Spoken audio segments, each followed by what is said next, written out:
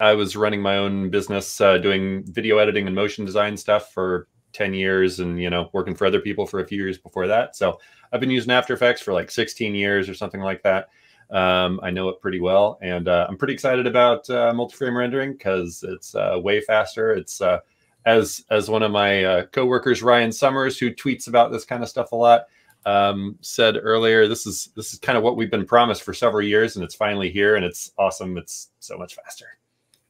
And I'm Ian Sansavera. I am by day, I'm the director of post production for Team Liquid, which is one of the largest esports organizations in the world.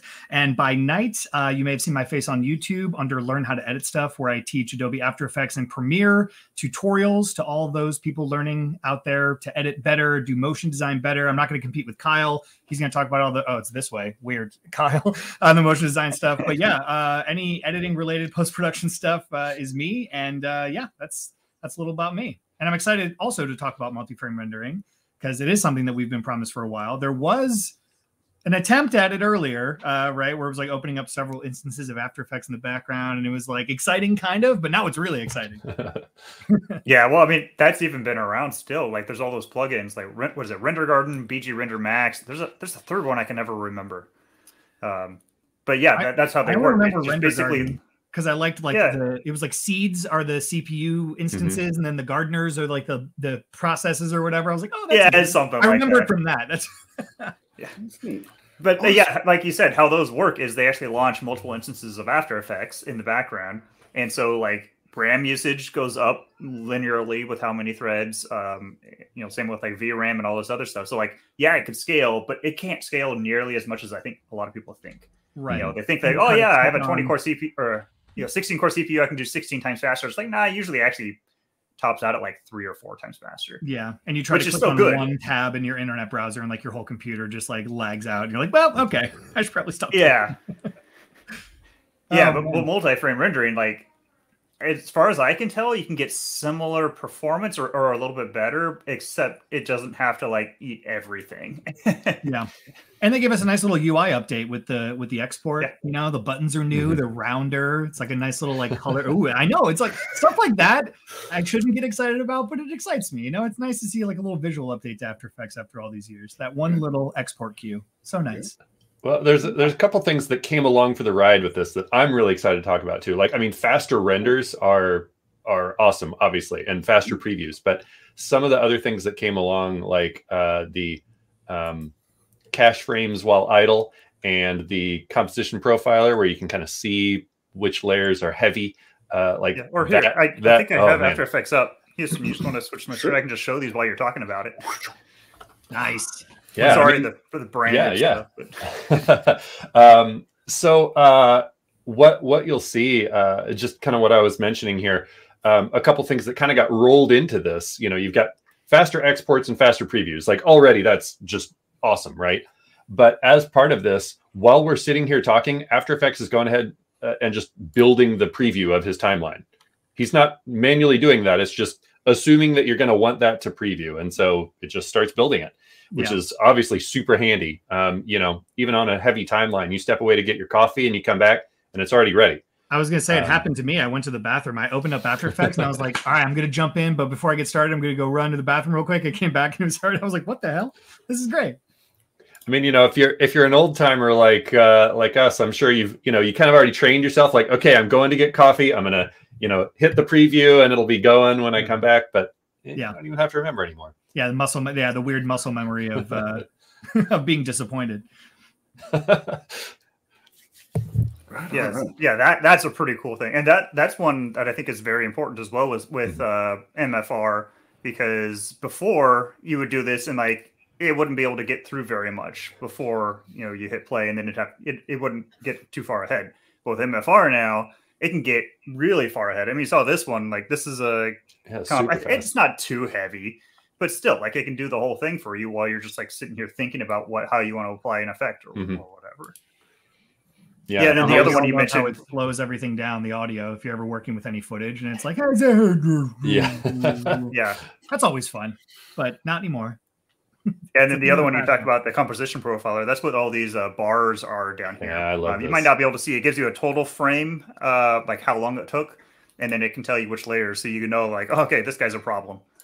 And you know you can disable it or you can take a look at it and figure out why it's doing what it's doing or yeah. you know whatever and and that does layers effects expressions masks uh, i mean pretty much every little sub thing that you might see in there um, as i recall you know it's not necessarily per property but oh, um, yeah. you, you know sort of per thing that you might add onto a layer you can see what's what's slowing things down and um, you, you know there, there's times where that's really useful uh, I, I, did a lot of manual sleuthing to work that stuff out in, in days of yore. So it's nice to be able to see like kind of empirically, like, yes, that's the slow layer. Definitely. Maybe that's a good one to pre-render or find a different way to achieve that look. Yeah. Does it work on soloed layers? Like if you solo layer, will it only affect the solo layer or does it still do background process?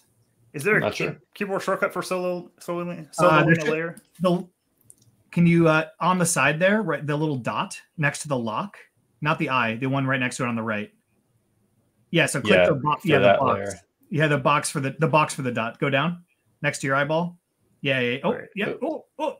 Well, I, am so confused. So go straight down. All right, so you know where the eye box is? Yeah. So click right yeah. You, yeah. Okay. So go right to the right, directly to the right. Keep going. Oh, I see. Oh, yes. okay. It's so hard to like. Okay, uh, it should probably be more like this. uh, yeah, it looks like it does. So if you're soloing a layer, it'll update it. Oh, that's great. Yeah, Which I makes sense because that's that. Yeah, it's, it's funny because it's like this kind of thing will change the way that you work, mm-hmm. and I think that's something really interesting about multi-frame rendering.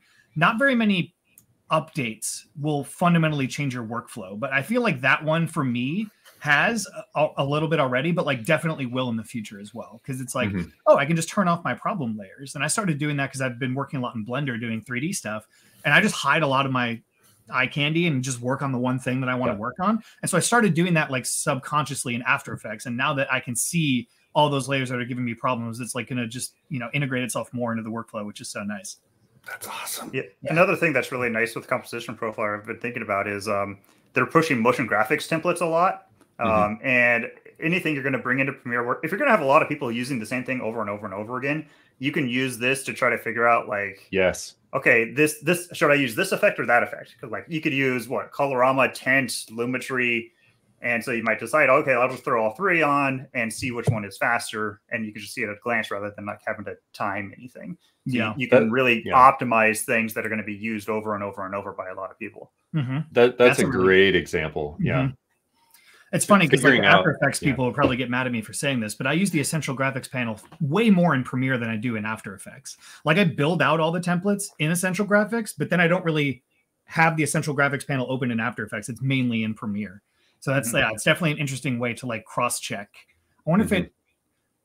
Hmm. Now I'm thinking like, okay, well, does Lumetri color work better in Premiere than Tint would in After Effects? Like, is there is there cross functionality there? Interesting. It should, if it's done in After Effects, any anything that's in that motion graphics template should be using the After Effects rendering. Engine. Right. Yeah. It's not mm-hmm. using so, anything in the background of Premiere, right? It's all it's all yeah. After Effects. Yeah. Yeah. Which That's is one of the point. reasons I why actually, like I should do that. We do that for work. I mean, we have Adobe libraries for everything, literally mm-hmm. everything. We have like our editor toolkit that has like sound effects and intro bumpers, outro bumpers, like everything is in there. So uh, if I ever get some spare time, which is very rare these days, I'll go back through and I'll cross check everything. It's probably worth doing. Sounds yeah, like you are working smart. trying to. I'm trying. It's yeah. like you know, a lot of people are afraid to lean into the technology of the of the mm-hmm. day, right? Like you you're set in your ways, you have your workflows and all these other things, and people are afraid to venture outside of their comfort zone. And I think that's so fundamentally wrong. Like I, I feel like people should still try it just to form an opinion whether or not they like it. You know, yeah. like all this AI stuff. I keep getting messages from everybody. They're like, AI, they're going to take editors' jobs. And I'm like, no, they're not. It's just going to become this yeah. tool that now I can use over somebody else, which is going to make me more valuable and like make me look, you know, a little bit better at the end of the day because I'm now using AI rotoscoping or whatever to like do this right. thing that you're still doing manually for some reason people got to stop being afraid of this stuff.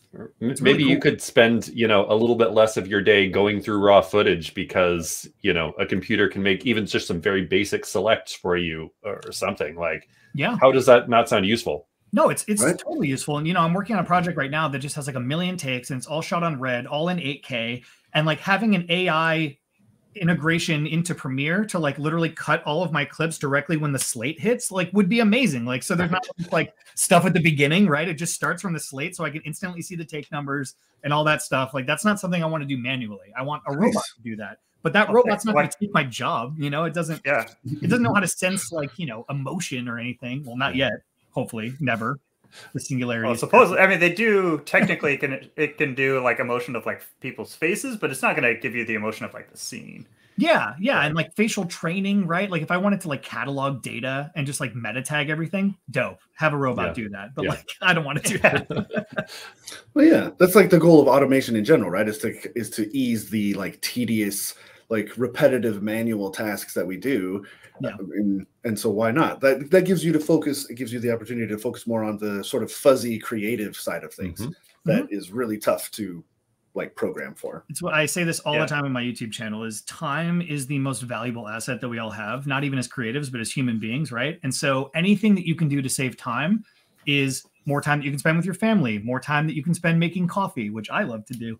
Uh, and like multi-frame rendering is definitely doing that too, right? Where yeah. there used to be this nostalgia of like, you know, some people, I'll go out and have a cigarette or I'll go make some coffee while I'm rendering. Like it's really fast now. so, I'm, not, I'm not drinking as much coffee as I used to. I'm not going on as many walks as I used to, but that's also a good thing because it then it compounds and then ends up at the end of your day or whatever. So yeah.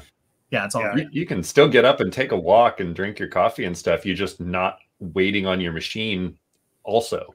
Yeah. Yes, but you tell people that you're waiting on your machine. That's right. the whole allure, right? It's like, oh, I got to render, but really you're like just sitting there playing playing something on your phone or whatever. Don't yeah. tell anybody I said that. I'll know it. I'll know before, it got out. Before we go even any further, I could you mind if I, I show a quick demo of like what multi-frame rendering kind of does in terms of performance? Because oh, like yeah, we sure. talked about how like it's amazing, but like I mm-hmm. don't know if the people who haven't seen it yet, they might not quite get mm-hmm. how mm-hmm. good it, it is. I'm, I'm, glad you brought this up because um, I think this will this will hit on uh, Ryan Summers from YouTube who's asking, "Tell me more about MFR, Kyle. Is it real? Is it really fast?" You're about to see right now. Yeah. The aforementioned Ryan Summers. he knows the uh, answer uh, so to that the, question already. yeah, right. Uh, so before I hit play, uh, just a couple things. This is obviously pre-recorded. You can't show things live, and my computer's not good enough to show you the best case. Uh, but uh, on the left here is with multi-frame rendering, and this has Task Manager up, so you can kind of see what the CPU load is. Yeah. On the left, or on the right, sorry, is the older single frame rendering, what we have now, basically. And so also you can watch the CPU load over here, and you'll notice that it's just one core basically that kind of jumps around versus multi-frame rendering. So this is the same exact comp. Uh, Kyle, this is actually the one you made for yep. uh, showing off MFR. Uh, it's the same frame count, same everything. So I'll just hit play. And you can see just like how much more of the CPU is being used consistently. And then you can also see the progress bar going across. Uh, it's actually stops halfway. They redid the UI, so halfway versus all the way. Uh, green is what it is render- rendering at the same time. So it's actually telling us concurrent frames rendering. I think it says eight. It's, it's kind of small, eight or nine or something like that. So on this system with this composition, it's able to do eight to nine frames at the same time versus just one. So I think that's finishing there. Uh, this is sped up, but real time would be done in about a minute. And this other one, I think it I think I put up a text the thing that comes up, but it's like four minutes or something. And like mm-hmm. we don't mm-hmm. have to sit here and wait for it because I Let's don't want to sit Make everybody else There we go. Pain. yeah. Yeah, you have to yeah, we'll just stay on this for four minutes. so that that's like that's like the, one of the best cases we found was like four and a half. I think the highest we got was like 4.7, so almost five times faster, uh, which is like absolutely Huge. nuts. That's and, and, that's not just for rendering too. Like um, like Render Garden we were talking about before, or BG Render Max. That's exporting only. Um, mm-hmm. Multi-frame rendering will do playback, so like preview as well. Um, and you know, there again, you can see anywhere from like two to five times performance increase, which is absolutely nuts. Yeah. Um, a couple other places though, I don't think people might realize is uh, we're talking about motion graphics templates. Uh, it should be used in Premiere Pro if you're using motion graphics templates. Uh, same thing with like media encoder. Mm-hmm. If you're like going through media encoder, it should use MFR too. So that's mm-hmm. why it's a big deal. Is like that's just nuts performance. Like the, and those are all places hardware, where you're gonna feel it. Yeah, yeah. It, it basically should. I, I haven't done actually the math, but it should make a system from like six or seven years ago as be as fast as like the highest end workstation, hmm. you know, basically it kind of shifts that. And then you know that high-end workstation is going to get way faster too. Right. But it yeah. basically upgrades your system like five years into the future when you as soon as you update which is again pretty incredible. Yeah i get those comments all the time on my youtube channel. Oh i'm using uh whatever. It's like super low. It's like yeah this will help you trust me. I see somebody uh asking oh wait no. Yes you can install it in beta. So you can install AE Beta from the Adobe Creative Cloud uh, desktop app, and you can just install After Effects Beta, and then you go into your settings and you go to Preview, and then you can enable multi-frame rendering in the uh, in your menu in your options. Yeah, if you want, I can even show you where the beta is real quick if you want. Um, Hell yeah! By the way, I yeah. didn't know that Kyle. I did. Well, first of all, this is the first time I've ever met Kyle. Second of all, I didn't know that you made that benchmark project. Beautiful work. Thanks. As soon as they sent it to me, because I did a video on it, and I used your video in my in my video, and I was like, "This is a great project." So kudos to Kyle. Thanks. Um, uh, yeah, so here's your Creative Cloud desktop app. And if you look right here on the left side, there's this little beaker thing that says beta apps. And uh, they have beta apps available for quite a few things. So uh, you can see I have all the video related ones installed. There's also Photoshop and Illustrator and Character Animator and Audition. So if you want to be kind of ahead of the curve on this stuff, um, you can and you just have to install them. And then they'll they'll be releasing i think we kind of said this but you know they release new builds like maybe every couple days. Uh, it, it kind of varies. Sometimes it's you know mm-hmm. next day if if there's something that needs to be fixed. Um, but you have access to all these features you know right now and it, um, and it installs alongside right yeah. you have i have the current release and i have the beta. You can see it has this kind of like blueprinty uh, sort of icon and and if you could see my desktop icons which i turned off um, for this, uh, you can see it's it's different. Um, so here's the wherever the normal After Effects, and then the, the beta one is you know the white and white and blue. Yeah. So I've got gotten. I was talking to these guys before we actually started the broadcast that I actually prefer to use the beta version over the normal build because of how often they update it. Mm-hmm. And they're fixing these little things that you know you might get annoyed with in the main build because their engineers are just like staying on top of the beta stuff uh, much more frequently than the normal builds. Uh, this is not advice. I wouldn't advise you to do all of your projects in the beta build. I do because I'm a psychopath, but I like seeing the little the little changes and the little nuanced things that you notice over the course of you know a couple weeks, a month that they make to the program. It's really really awesome, and they're prioritizing that, which is great. Mm-hmm. Yeah, it's a great way to see you, the. Sorry, go ahead.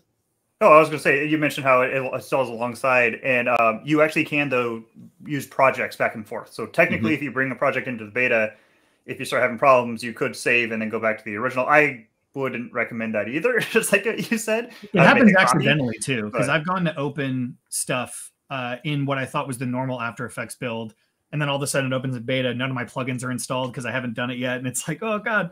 But yeah, you can you can prioritize. You just right click, go to open with, and then choose the right mm-hmm. application. Mm-hmm. Assuming you're all PC master race, which if you're tuning into a Puget Systems live, I would assume at this point. uh, what were you going to say, Kyle? Oh. What Sorry, was I going to say? Um, I don't remember. I'm sure it was really brilliant, and we're, we're, very sad to have missed it. um, I did want to grab this one question from uh, from YouTube's from Joe Kunitz. Uh, he asks, "Will render and replace in Premiere use the multi-frame rendering?" Do we know? I don't know. I would assume so. Yeah, if, if it's actually an After Effects like you know comp or motion graphics template, it would. I mean, if it's just a normal you know Premiere Pro thing, no. But anything that is After Effects and using the After Effects rendering engine is supposed to be able to use it. I I'm still not 100 percent clear on how that's going to work because there's some settings in Same. like After Effects that you can set. Like uh, one of the settings you can say is how much of your CPU to reserve because mm-hmm. uh, multi-frame rendering can use all of your CPU, which is good in theory, bad in practice because you got other things to do. Want your, yeah. yeah. you got other things for your computer to do. Uh, so you can set it. I think by default it reserves ten percent. Uh, but like I don't know how that works with Premiere Pro and Media Encoder because there's no settings about that. Yeah, that's yeah. a great question because a lot of the times I'm I'm a madman and I I live inside of Dynamic Link like and I I Adobe, please throw some more resources at Dynamic Link because it, it, really is spectacular. But yeah, I'm, I'm in Premiere and I'm right clicking, uh, replace with After Effects composition. I'm going in there working on titles, doing a bunch of stuff. And so, yeah, it's an interesting question because I don't know if it actually does. Um, I'm also kind of a psycho and I just pre-render everything. I'll replace with After Effects composition because that's the easiest way to get everything in with accurate time code. I'll do my work and then export out of After Effects and then bring it back into Premiere. Because hmm. yeah, I, I'm hoping at Adobe. I was just say, I'm hoping at Adobe Max. That's next week, isn't it? Next week it is. Yeah. Yeah. Okay. Tuesday I'm hoping Thursday. at Adobe Max they'll um because I mean all the stuff is in beta. We don't know what parts are going to be coming out of beta, what parts are going to stay in beta. Uh, you know, because there's a bunch of things they've been changing, uh, mm-hmm. both in Premiere Pro and After Effects. And um, so hopefully we'll hear a little bit more then um, you know about how some of this stuff is is going to work because yeah, right now it's a little nebulous on some of them somebody will slip up. Somebody always reveals some trade secret accidentally, and they're like, "I wasn't supposed to say that." It'll happen. So yeah, I mean the the thing I love about the beta though is it means that there's very little in the way of like trade secrets. Like I think Photoshop yes. still has like a private beta, you know, level. Mm-hmm. Um, I don't know if Premiere and After Effects do anymore. I think the beta is just it. You um, can so uh, much... you can like shift alt control F4 click on the little beaker in After Effects and enter in a secret code if if the After Effects people give it to you and you can mm-hmm. demo new features, which is pretty There's cool. still some secrets. There's but, some secrets. Uh, yeah. just just true. things yeah. that aren't quite ready for the public beta yet. Mm-hmm. Yeah. Yeah, yeah, exactly. Yeah, I, I know with the multi-frame rendering stuff, I'm sure there was because they they multi-frame rendering was a long road to get here. Um, even a couple of months ago, there was like a really long startup times. Like with preview, especially, you'd hit spacebar mm-hmm. and you'd have to wait like five or six seconds before it'd start to play. Yeah, like that wasn't fun. But you know, they fixed that. You know, they had to go in and, and you know, I don't know what they did, but you know, a lot of work. Yeah. Uh, so it's been a long way, but it, it definitely feels stable now to me. Mm-hmm. So. I'm really excited. You know, I'm assuming it's going to be launched with, uh, you know, to next week, you know, officially. But same. I guess we'll have to see. Yeah, officially. None I mean, of us are from Adobe, it. so we, we can't make any promises on their behalf. Perfect. Yeah. I, I, will be stunned if this is not uh, publicly released next week.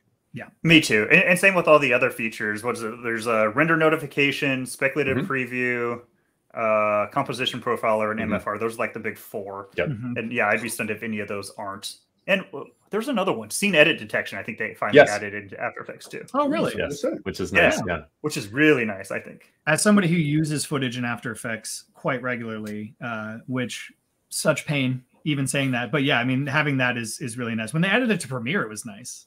Yeah, and it was okay to hop over there and just you know drop some markers on it in Premiere and send it back. But um, having having it straight in After Effects is great. Yeah, yeah, that is great. That's nice. I'm still okay. This is getting off topic a little bit here, but I still wish they would uh, make the proxy workflow better in After Effects. That's the one thing that like they spent a lot of work on in Premiere recently, and like mm-hmm. it's pretty good. But After Effects, I feel like is where you need it like a lot because footage plays. It's just slower in in After Effects than Premiere Pro. Yeah. Hmm. Yeah, it really is. But if you have a good computer, plug-in computer system, you don't really need to use proxy. Even then, man, some of it, some of that stuff is just like you, you, can some things like you can play just fine in Premiere, but you bring it into After Effects and it's like half FPS. Yeah. It's just how After Effects works. It's just doing yeah. prioritizing different things. Like so, yeah. it makes sense. But I think yeah, if you're going to use footage, use Premiere, right? Like I, I get questions all the time. Like, should I just edit in After Effects? No, please. No, you no. should not edit After Effects. Yeah, you should do all of your effects after the fact in After Effects. Mm-hmm. You can do visual effects in After Effects, motion graphics in After Effects. Don't try to edit in After Effects. It's very cool. If, if you need to like trim one clip or like you know take a couple and just just kind of slide this around a little bit that that's fine but right especially with dynamic link and you can literally just copy paste stuff back and forth between the two programs by the way yeah so Not particularly like that, clips just mm-hmm just open a, a, a blank project in Premiere, do yeah. your thing, and then copy paste it over to After Effects if that's all you have to do. It you, it might be worth a shot. Um, while we're on the subject, uh, this can be a whole other rabbit hole, but just kind of a general note: if something's running too slow in both After Effects and Premiere, stop and think about the format that you're working with. If you're working with a really compressed format, you're making the computer work that much harder to create every frame because it's having to uncompress the thing before it shows it to you or it thinks about it and shows it to you. So mm-hmm. like if you're working with an MP4 and it's slow, maybe you should be working with an actual like production format, not a delivery format. Same thing goes with like PNG sequences instead of, you know, something that isn't super compressed. Mm-hmm. So you know, the uh, may, I, I don't know. I feel like feel like I'm out here shaking my cane because like you know machines used to be so much slower and you just kind of had to know some of that stuff but i feel like mm-hmm. it's less the case now um, so whatever that was my soapbox moment I mean, it's, no. it's, a good thing to bring up for sure. I mean, it's it's it's useful information because mm-hmm. nine times out of ten, somebody comes to me with a problem. It's like their sequence settings or something like that, right? Yeah. Where it's yeah. like, if you just know this stuff and educate yourselves. I understand that like we're all impatient and we just want to make cool things, but if you take the time to educate yourself and you know these kind of pitfalls to avoid, you're going to be able to save that precious time and you're not going to drive yourself insane and you're going to learn something and then you can come on a podcast like this and drop some knowledge bombs that people didn't know. You know, it's all it's all worth it in the end. And maybe now you can use the time that you're saving with multi-frame rendering to research that stuff. Boom. you have a link to a blog Full circle. right now. That was perfect. you know, I do have a link to a school motion article that I personally pinned uh, recently, and then uh, that also links to a live stream that we did on our channel that I hosted. Matt was on with me along with some of the After Effects team, and we talked about all this stuff too. So let's go. go. See, mm-hmm, you love mm-hmm. it. That was a that was a nice alley oop there, Kyle. I appreciate and I do think I put the the correct link in the chat. Great. Yeah, I see it. right on. Um, I'm curious. Uh, so we took a little bit of notes before, before, as we were preparing for this, and I'm curious how this is different from uh, Matt had put in a, a, mention in our notes of render multiple frames simultaneously feature, mm-hmm. and and is that what you guys were talking about earlier? How it would spin up different instances of yes. After Effects kind of in the background in order to accomplish that? Yeah, that's yeah. six years ago now when they removed it. It was like 2015, 2014, was, 2015, something like that. Yeah. It was version 2015.3. I remember. I don't remember what year that was because it's always off. I think it yeah. actually was 2014 year. but yeah, that was when they um they added GPU acceleration and mm. I, for whatever reason they also removed it then from what i understand like it was problematic like it caused yes. a lot of problems especially with like plugins and just like things not working and uh, just like all those other plugins we were talking about before like render garden and bg render max um, it only worked on export so mm-hmm. it was a brute okay. force approach and i think that's okay as a brute force approach back when we only had like quad core cpus Mm-hmm. Uh, but now that kind of brute force just doesn't quite scale well enough. So yeah. now that's yeah. why they had to go in and add true multi multi-threading and all that. Um, I do want to though mention though that like those plugins like Render Garden and BG Render Max, those aren't going to go away. Like they're just going to be used more for what they were originally designed for, which was network rendering. So mm-hmm. you can oh. still use them to, you know, you've got a you know bunch of people compete with computers at the office why not after they leave for the day use them as a render node uh, you don't have to pay for an after effects license for each one i think you just have to like log in um, install after effects and i think there might be a setting you have to change now i can't remember uh, but then after that you don't have to be logged in or anything so you can still use it for that and you still get you know perfect scaling you know so that's just makes your stuff even faster mm-hmm. yeah, having yeah. used Render Garden myself, uh, it's yeah. I mean, I've used it on a couple really big projects like that that I just needed to cram a bunch of stuff through. But for one person making stuff on one machine, like I'm I'm probably not going to open it anymore because just the hassle of having to sit there and kind of tend, you know, several instances of the thing. Like uh, I don't know, for certain big projects I might, but generally speaking uh, the kinds of improvements I'm seeing here probably mean I, I'm I'm not going to look to those solutions uh, except in extreme cases myself. Yeah. Yeah, it's nice that it's it's built right in. Mm-hmm. I, I anticipate that becoming the case more and more in the future, right? Where it's like, I mean, I was having a conversation with some of the After Effects team a couple months ago, and I was like, why haven't you guys done something like Overlord? Like, why can't I bring stuff from Illustrator into mm-hmm. After Effects or whatever? And they kind of alluded to like, oh, down the road potentially, which like I feel like those kinds of quality of life things that other really smart people who deserve a lot of credit are building.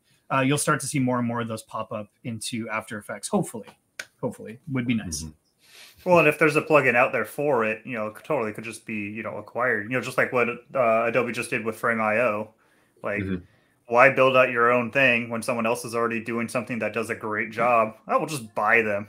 Honestly, yeah. it's probably cheaper to buy people than to pay developers to like write something from scratch. It's fine. I've been using Frame.io since they had like two employees at the company. I've been with them for a long time, and I recently had to call like their customer service or whatever and like strike up a conversation with somebody. And we were grandfathered in from like a long time ago. So we have this account that like isn't supposed to exist. And so I'm like between a rock and a hard place. I'm like, well, now I think I have to upgrade to the enterprise version because we're at that point now, which is going to be way more expensive. But uh, yeah, the, the Frame.io thing is great. Acquisitions. If they work smarter, not harder when you have Adobe money, you know?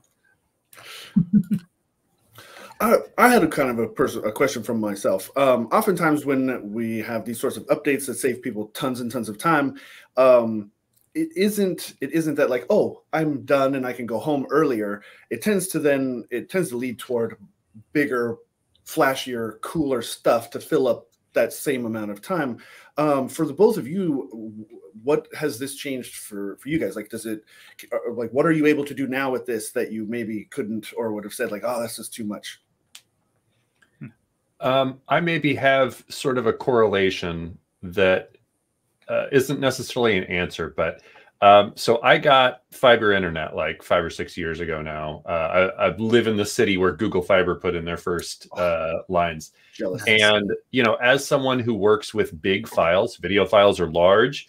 Um, you know, if I'm working with a client that isn't local, you know, might be exchanging gigs back and forth.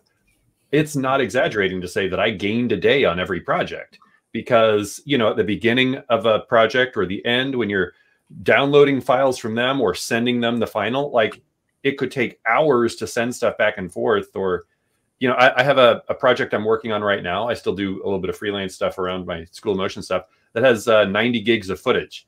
And that would be a big thing to just download with a slower speed. I did it in i don't know less than an hour uh, uh, uh probably i don't know matters of tens of minutes, maybe. Sure. Um, and you know, I can just push stuff in seconds. Um, so that's all the more time to work on the project and make it cooler, which maybe I want to do. Um, I agree that you know uh, tasks can tend to expand to fill the container that you give them, um, but uh, I don't know if there's any answer to that. I mean, for for me and, and my staff, and I tell them this too: uh, more time to experiment more time yep. to play around. Like try different chains of plugins. Try something new. Like learn right? I don't care if you for the rest so in this weird work from home environment we're we're all hybrid now. All of my editors i have a team of 12 um, we haven't gone into the office since march of 2020 and it's like my my rules are as long as you get the project done to the quality level that i expect on the deadline that you're given i don't care how you spend your time. You want to go to the park for four and a half hours in the middle of the day if you got your stuff done early? Go for it. Like all you uh, if you're not going to do that, you're going to stay at your computer, learn. You know, I, I gave everybody a uh, subscription to Masterclass. I'm like, go in, learn stuff. Like, go on YouTube, mm. learn stuff, experiment with stuff, make something cool. Uh, and that's the kind of time that has been given back to mm-hmm. you know the people that I work with, which has been really phenomenal because it's you know increased morale, it's it's increased excitement. You kind of rejuvenate some of that passion for the creative, and it, it's done it's done a lot. And I think it will continue to do more, which is very exciting. Yeah, right on. I have an extension of that question. So I haven't experimented with this at all, uh, so I don't quite know what the answer is. But uh, ha- will multi-frame rendering uh, just let you also work just at higher resolution? So instead of having to turn your preview, you know, down to quarter res or whatever, it should let you bump that up, you know, a, a step or two, right? And I have to imagine, as people so. who work in After Effects every day, that's going to be a big quality of life, you know, just for while you're working in your stuff. Yeah. Yeah. As you know, as sort of a, an old timer, like I said before, uh, you you have all those things like, oh, you're working at lower res or skipping frames or turning off that heavy layer. Mm-hmm. And yeah, you probably start like trimming some of those habits out a little bit, um, just because you might start seeing that uh, it's faster enough that you don't need to knock down the resolution when you're doing your little previews or whatever. Um, or you know, like the inside is just you if you do have those habits built already you might just be done that much faster and use the time for something better. Maybe you know not stare at your screen for 10 minutes uh, instead of watching the little bar fill up as, as, we've all done so do you ever play a game where you just take your mouse and you kind of push the back of it and you like try to get it to finish faster i do that uh, i've never done anything like that that sounds crazy or you can pull it from the front like a little rope you know you can pull it from I do that too. Oh, cool. I always just move my mouse over it, put it on the end to make sure it's actually moving. Yeah, mm-hmm. I've done that yep. too. You're moving. Use it as a marker. Yeah. You good, buddy? Um, does multi-frame? I mean, I don't know enough about the technical side of it, but like if you have ten layers in your project, small project, ten layers in your project, but you only make changes to one, do the other nine stay pre-rendered? Because I know that that was like kind of an annoying thing too, where you would move a solid right or like scale something, and then the rest of it would have to re-render. Do the other nine layers no longer have to be re-rendered? I don't think that this does that. I at, we do have as of maybe a couple years ago now. It does remember. So like if I made a change and decided that I didn't want it, if I hit undo, it does remember that yes. stuff that it had before, which mm-hmm. was also a huge quality of life improvement. Yeah. Um, so that you but weren't not if you move right if you have uh, yeah i don't think it's like a per layer. awareness like that that hmm. i that i know of. Adobe if you're listening. it, it, does know some things i know though because um, i mean i do a lot of performance testings and whenever i'm adjusting things sometimes i'll make one small change and i have to make sure i clear all my cache or else the performance doesn't like it, it's not accurate so there is at least some level of it remembers things and it caches things. I mean, even in um, well, that's not really when you like delete or edit, but in the, the composition profiler, it does denote things that are cached with a star. Uh, so you know that like, hey, this this this layer has been cached. Um, I think that's a little bit different, but it, it does remember some things. I know, but yeah, it'd be nice if it remembered like everything. yeah, would be nice. How often should we be caching After Effects? Or Kyle, are you? I don't cache in the middle of a project or anything, but maybe Matt, you do it a lot you more. For, purging it? For yeah, for like purging the cache, just emptying it. Oh, uh, I empty I, it constantly. Same. I usually have this well, really? disabled, but well, that's because I'm doing performance testing almost all the time, so I yeah, don't want. But Kyle, you do when you're working on like pretty motion graphic intensive projects. It depends on the project um, and, and what I'm doing. Um, yeah, it varies because I do uh, you know footage heavy projects sometimes too. Um, it just kind of depends. Uh, maybe this isn't helpful, but I can kind of feel when it's full, and so then I check it and empty it when I yeah same. I have a. I mean, I, am assuming you have a dedicated drive in your computer as well, just yeah. for cache. Yeah, that's the move. Uh, for those of you listening out there, if you're running into some issues like that, having a dedicated M.2 drive in your, I mean, really any drive that's fast write speed. Maybe Matt will correct me on that, but as soon as I got a dedicated M.2 in my computer for cache specifically, I noticed such huge improvements in in speed. It's it's kind of crazy. Well, and you can make it huge then too, and not worry about yeah. having yep. to share space with anything. Yeah. And you can it's easy to clear cache. Like I know some people forget where like, oh, how do I clear my media cache database stuff? And well, hey, you just close After Effects and Premiere or whatever else you got, and you just go to the drive and just select just all delete it. yeah. it'll it'll remake the folder structures.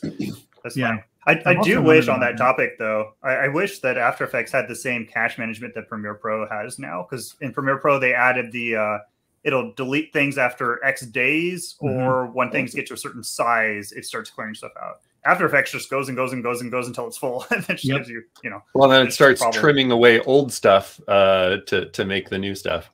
I will say yeah, it is actually nice do that yeah, ahead of time. Yeah, uh, it is actually very easy to find in After Effects, but uh, uh, it's a thing that a lot of people don't realize is there. Mm-hmm. Uh, it's just under the Edit menu, Purge, and then you can choose all of it, or you know, just specifically like your image cache or, or your memory.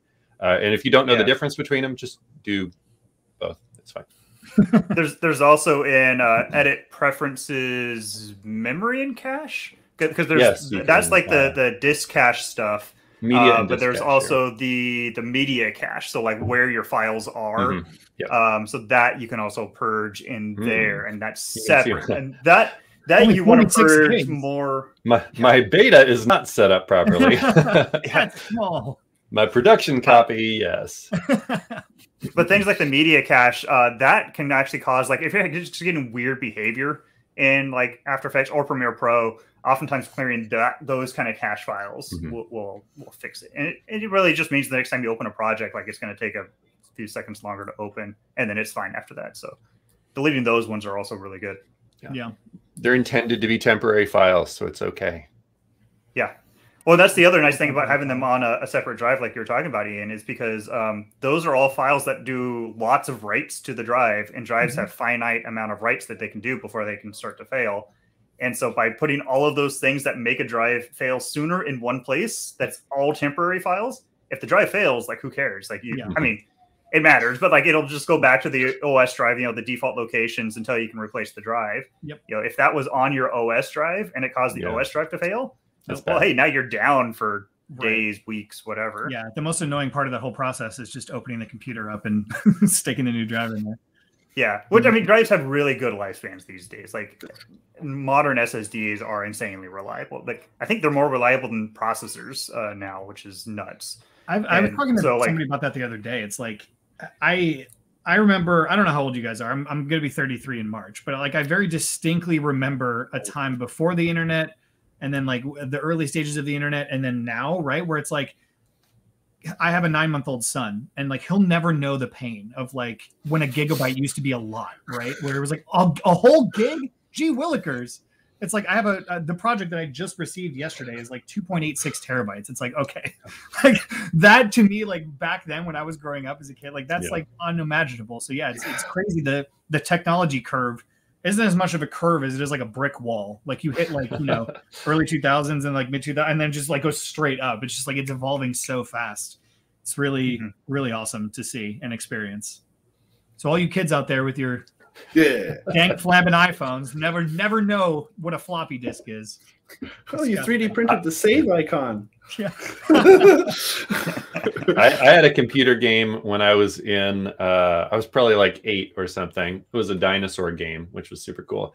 And it was on five and a quarter floppies, which are the the bigger ones like this. Yep. Floppy Actually floppy. Yeah. And uh, my friend uh, the game like asked if he wanted to save and he somehow managed to save over the game itself on that floppy because how else would you save anything except on a floppy disk, right? Yeah. Oh man. So oh, the good old enjoy days. your PlayStations. yeah, yeah. yeah. Um, Matt, maybe you, maybe you might have some insight into this. I know there's been some kind of funny business we've seen um, when when you get into really high core count um, CPUs, uh, something about like logical processors and, and whatnot, and there's and it can cause some issues. Um, if this is so much kind of reliant on those kind of higher core count processors, is that going to be an issue? Yeah, it still is. Okay. Um, so we did a whole bunch of testing. Uh, it was part of a project with Adobe actually, um, and so we tested like every CPU out there that's you know mod current gen, and uh, we saw performance gains up to 32 cores. But when you cross that barrier of 32 cores, performance dropped. I mean, in some cases, really, really, really badly. And yeah, your uh, logical processor groups is, is what it's called. It's uh, Windows can only handle 64 threads, which would be 32 cores because each one does hyper threading.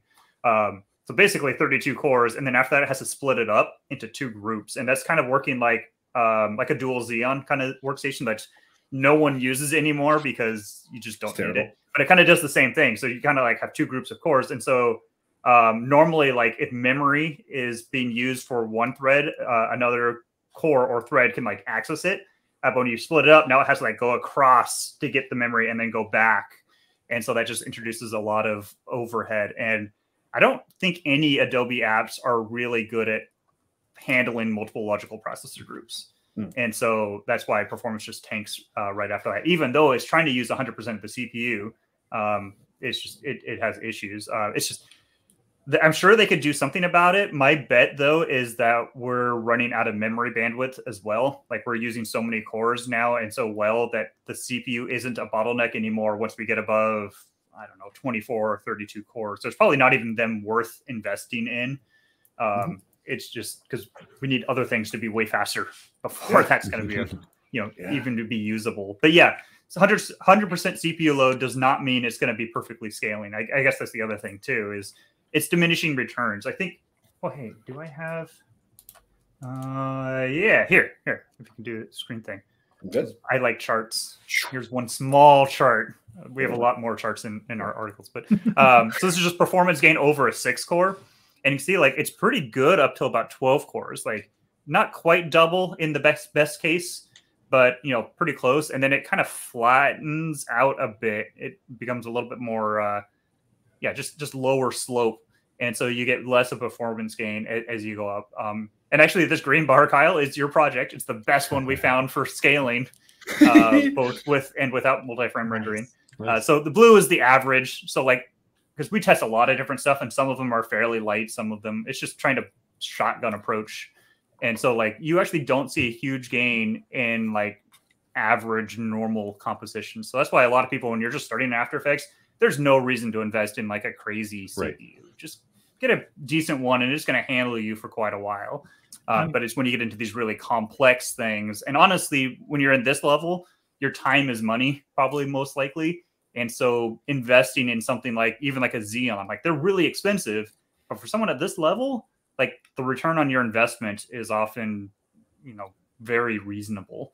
You know, it, it might look ridiculous to someone, you know, who is just getting started in it or who, who aren't in this industry to see like, oh yeah, what is that like 30% performance gain for like $5,000? Like, no, that's terrible. But when five thousand dollars is paid off in a couple of months. Right. right. one project. Yeah. One project. Yeah, or you're getting exactly. repeat business from that person because you're able to finish faster and like all right. these things. And if you told somebody, oh, I got 30% return in the stock market, they'd be like, How do I do that?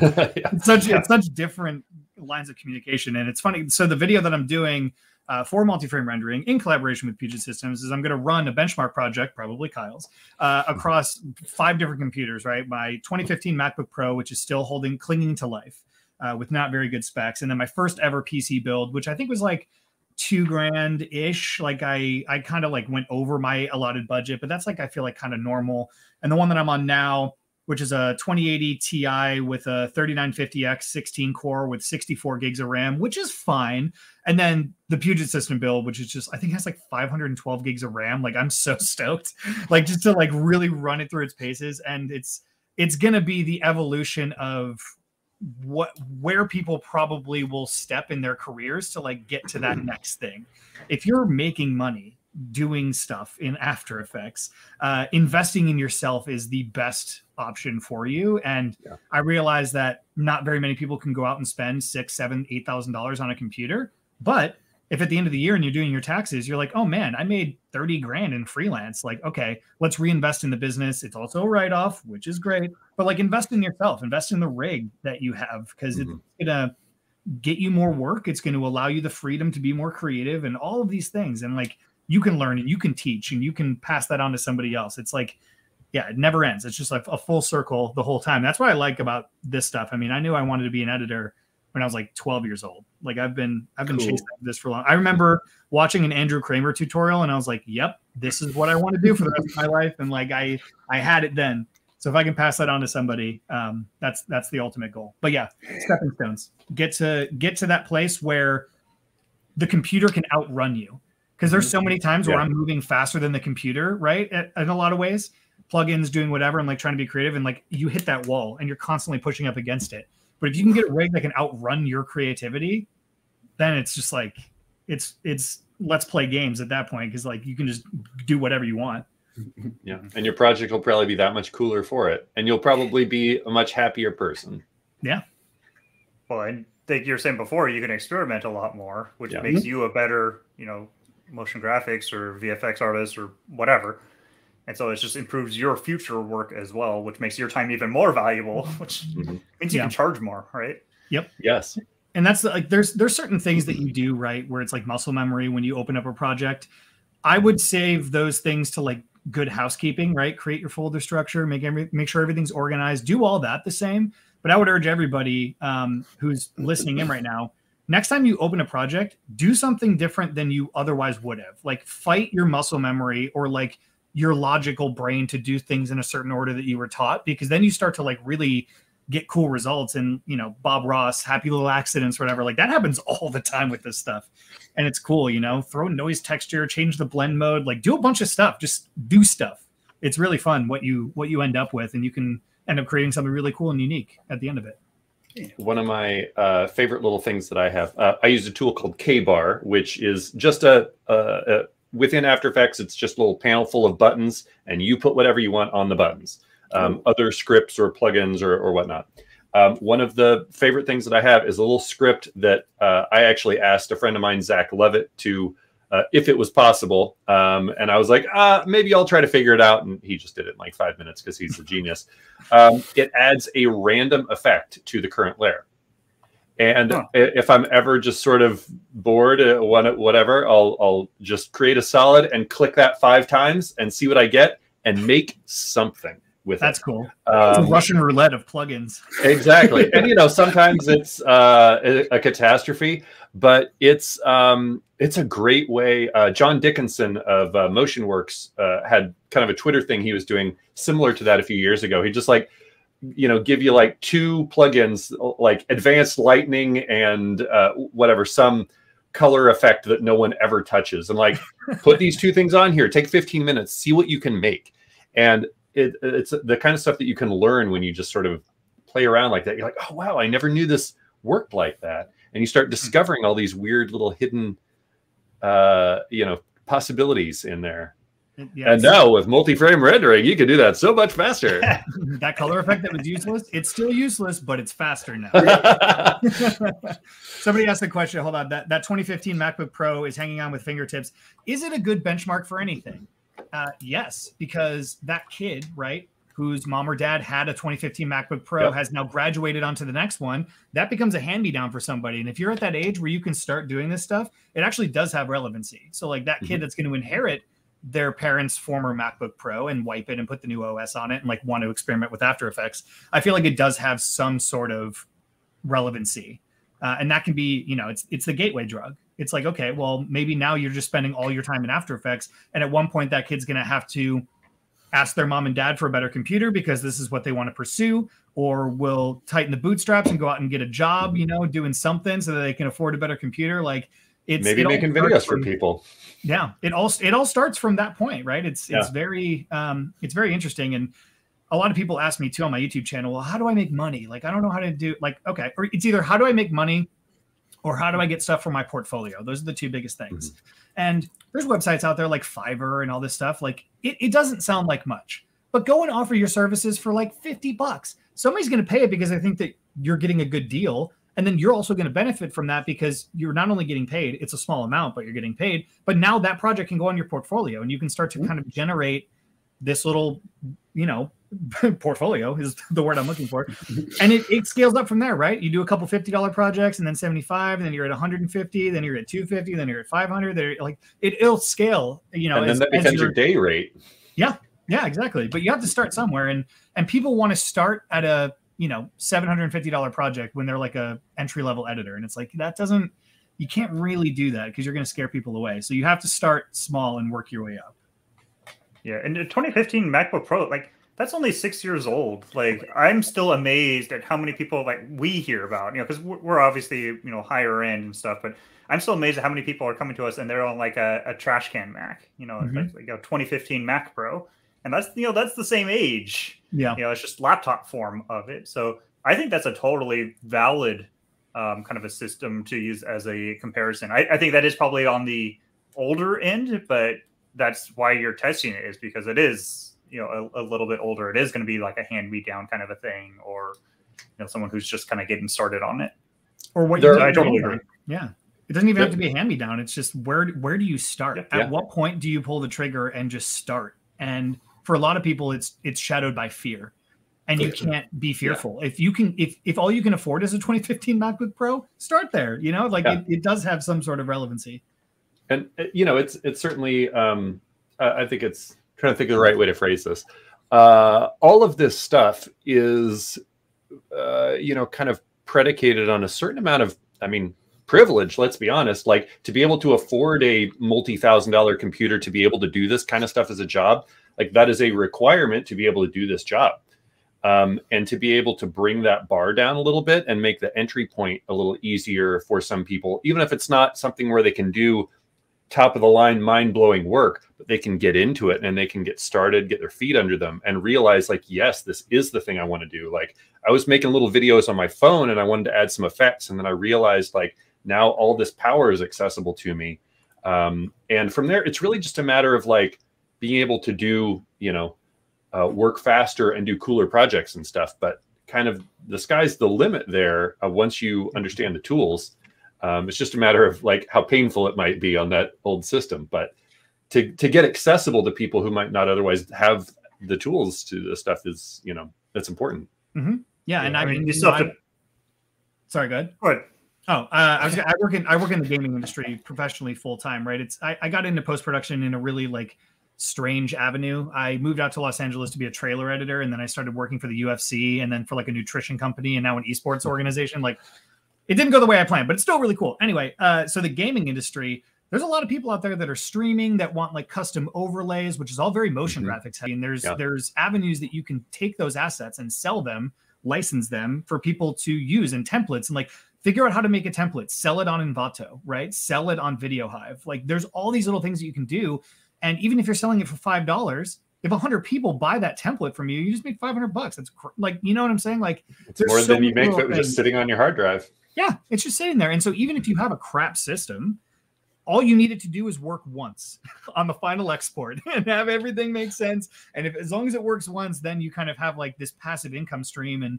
somebody said it's hard to get started. Yes, but the hardest part of getting started is getting started. Once you do it, then you're used to it and you can start, you know, hey, friend of mine, can you just download this thing and use it and give me a five star review because I need to get like the algorithm up or whatever? Like people do that all the time. You just have to be modest and be respectful. Don't try to cheat the system or anything, but also just try to do good work. That's really what it comes down to. Good work will get noticed at some point. It might not be instantly, but at some point it will get noticed. That's true. I, I, like that. I like. Well, sorry for the delay. That I was I was meant to try and answer a question from YouTube a little little on the slide behind the scenes. Um, they were asking about if there was a, a very big difference between the 5800X and 3700X. Um, Rossi, we have available um, on our benchmarks page. Uh, you're able to compare um, of everybody who has used our benchmark. Um, their results get uploaded with their specs and things like that. So you're able to compare um, those results sort of not quite side by side, but if you just punch in 3700X, you'll see the overall scores there. And then you can punch in 5800X or look up the most recent article um, for Premiere and you can get those answers. Yeah. On, on the subject of benchmarks, I, I also, uh, our After Effects benchmark, I'm trying to get it updated now to be able to better test multi-frame rendering because um, and Kyle, we're going to be sticking your project in there. A little little modified. I'm sorry to tell you, I got to change some stuff because I don't want a giant like video clip plugged into the. Uh, or something. Yeah, I mean, mine was intentionally designed to be kind of heavy so that it yeah. would work well as a yeah. a, yeah, a, real benchmarking thing that didn't just take like a minute to render. yeah.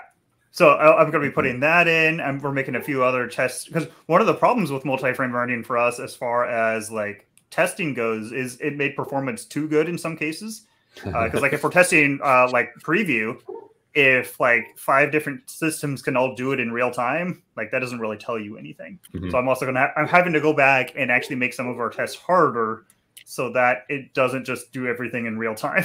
Because yeah. yeah that doesn't tell you anything. The real time stuff so hopefully really i'll have that working. update soon. Yeah. It's really good for working but the export is really like the noticeable huge crazy difference that i've found even with yeah, uh, well, I was you guys before this, like I was I was working on a project that was uh, red 8K raw footage from like a red monstro, and so I graded it in DaVinci, came out like lossless out of DaVinci, and then brought it into After Effects to do all the keying, and I tried to do it in the normal After Effects build, not MFR, and I don't even I'm, I'm assuming it does work on Keylight. I think it does. Yeah, or I think pretty much everything is supported now. Uh, during the beta, they added more and more. Yeah, but like yeah. I did it in the normal After Effects build, and for like a 20 second clip, it took two hours. And with multi-frame rendering, it was like 40 minutes or something. It was great. Like I was saving so much, and I had to do a huge batch of footage. Like it was like 70 clips, and I was like, oh god.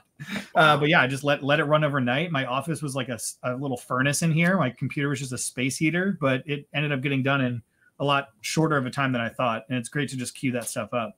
So nice. Yeah, right on. Cool, cool. Well, we are right at our hour. Um, Matt, do you want to try and answer this one about Premiere ever using more than eight cores just before we Oh, go? yeah, sure it does. Yeah, uh, it just depends on what you're doing.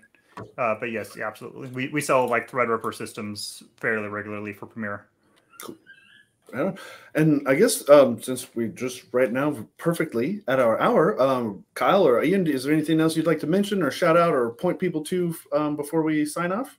Got to share your own stuff. You got to mm-hmm. promote yourself. Uh, yeah, uh, youtube.com slash learn how to edit stuff. If you want to learn how to edit stuff, uh, all sorts of stuff. I do uh, After Effects and Premiere tutorials mainly, like 95%.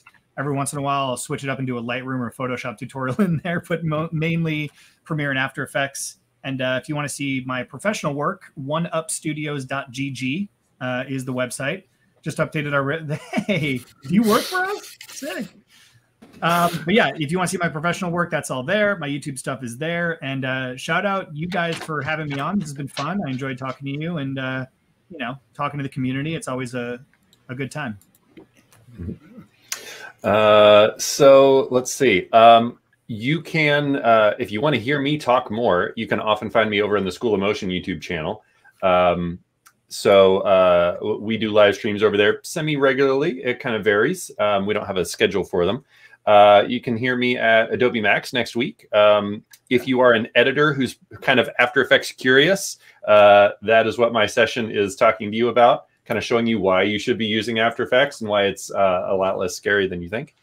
Um, if uh, if you want to be uh, serious about learning about motion design, School of Motion is an awesome way to do it. Um, I would say that if I didn't work for them, I did for several years before I worked for them.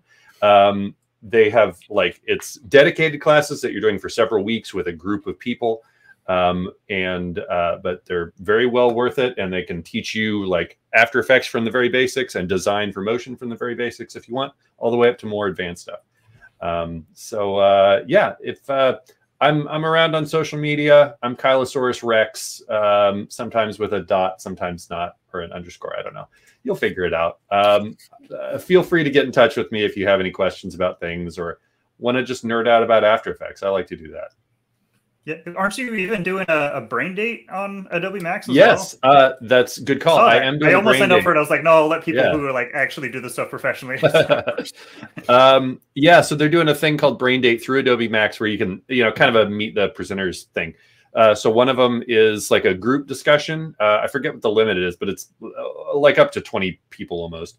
Um, so you can hop in that. And then there's some times available to do like a quick one-on-one with me if you just want to like ask some stuff about motion design or getting started with motion design or whatever. So um, again, you can find me, Kyle, you know, if you go to the Adobe Max site and search for my name, you'll, you'll find my session and, and I assume the brain date stuff is accessible through there as, as well.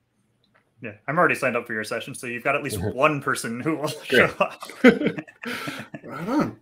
Awesome. Well, thank you, gentlemen. Well. It'll be the two of it. It'll be me and Matt in there. Yeah. no. Great. We'll just heckle you the whole time. I, I'd bring it on. I love it. Awesome. Well, thank you, gentlemen, for joining us today. Um, if this was a lot of fun, this went really fast. I, I'm mm-hmm. kind of surprised that just because everybody was talking so well and just good conversation. We learned a lot today. Uh, thank you very much. And um, I'd like to also thank the audience for joining us today as well. Uh, we this is our second day of our 2021 live stream extravaganza. We have a lot more coming up for you uh, throughout the rest of the week. Um, next or not next week, tomorrow, I should say. Let's see, that's Wednesday. We have State of the Industry, VFX and Motion Graphics, and also AI for post production at 10 a.m. and 1 p.m. Pacific, respectively. So um, tune in for that. And uh, if you miss anything or want to look forward to the schedule, I've posted the link to our landing page for our extravaganza in the chat. And so thank you all very much. And um, we'll see you all next time. Thank Bye. you guys. Thanks so much.